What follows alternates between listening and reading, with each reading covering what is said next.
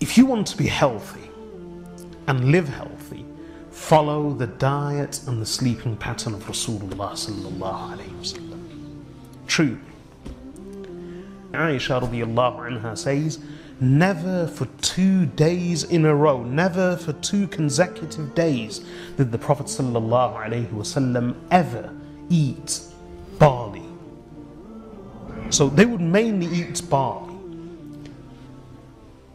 Prophet wasallam, if he if he would eat all this talk about carbs and protein, so if any carbs he would eat, he would be barley, but even then on occasions. The Prophet ﷺ was a very organic eater, sallallahu alaihi wasallam. He ate dates, he drank water, he drank fresh milk. He was a person who would enjoy the luxuries of Allah subhanahu wa ta'ala. He loved a tharid, which was a meat-filled dish on buttered bread with broth. He used to love the excessive amount of soup. Some of his favorite vegetables were things like pumpkin and um, cucumber, a hadith that mentioned watermelon. He loved meat, but that's no reason for excessive consumption. Because Aisha radiallahu anha relates that the Prophet sallallahu alaihi wasallam, as well as they, the family, would only occasionally and rarely receive meat. In one hadith of Bukhari, she says, for two whole months, for two whole months, the fire in the hearth of the home of the Messenger of Allah would not be lit because there was no solid food to cook. For two whole months. All our food was dates and water for two months, and occasionally we would receive a gift of milk.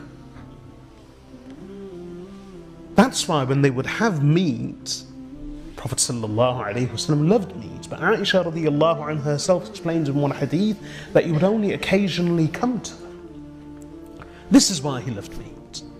So in this hadith, Umm al-Mu'mineen Aisha radiallahu anha says, Never did the Prophet sallallahu alayhi wasallam eat his fill from barley for two consecutive days until the day he left this world.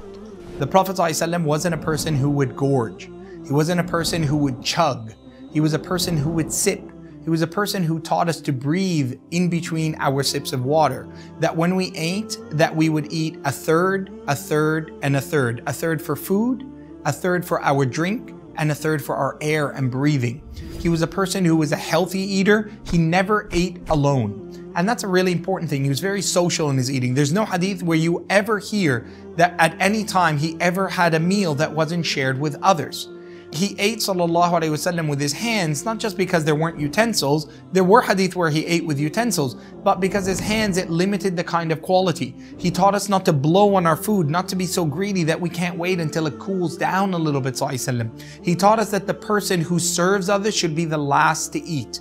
And therefore, it was an honor to make sure that everyone was well fed and watered before a person considered their own needs. There were times where the Prophet ﷺ taught us to restrict food. And he would fast every Monday and Thursday, the 13th, 14th, and 15th of every lunar calendar, and of course the month of Ramadan, and other special days like Ashura in the month of Muharram. Uh, you know, the holistic approach of the Prophet ﷺ is really what is key. The Prophet ﷺ was a person who taught us that food is one of the primary reasons for illness if we eat too much of it or if we eat the wrong, the wrong types. None of the hadith related by other Sahaba radiallahu anhum, never did the Prophet sallallahu alayhi wasallam fill his stomach. Never did he eat to his fill from barley or for meat, from meat, unless he was a guest with other people. So if he was eating with other people as a guest, then maybe he would eat a bit more. But normally he would never eat to his fill. Uh, I'll give you uh, three important verses that are of benefit that you can see reflected in the level of the Prophet Allah says, Kulu washrabu wa la tusrifu.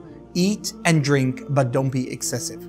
Allah subhanahu wa ta'ala says, وَجَعَلْنَا اللَّيْلَ لِبَاسًا وَالنَّهَارَ مَعَاشًا I've made the night a place of repose and rest, and your daytime a place of activity. And therefore, eating at night wasn't in the habit of the Prophet Muhammad. That was something from the active parts of our day. And third and most importantly, Allah subhanahu wa ta'ala says, وَجَعَلْنَا مِنَ الْمَاءِ كُلَّ شَيْءٍ حَيٍّ I've created out of water every living thing. you and I, we need to drink much more water. The Prophet ﷺ in the authentic hadith, he said, ثُمَّ لَتُسْأَلُنَّ يَوْمَئِذٍ عَنِ النَّعِيمِ One day you'll be questioned about the, the excessive uh, joys of life, the bounties of life. And he said, شَرْبَةَ مَاءٍ بَارِدٍ فِي يَوْمٍ حَارٍ One of those joys that he relishes, وسلم, is a drink of cold water on a hot day.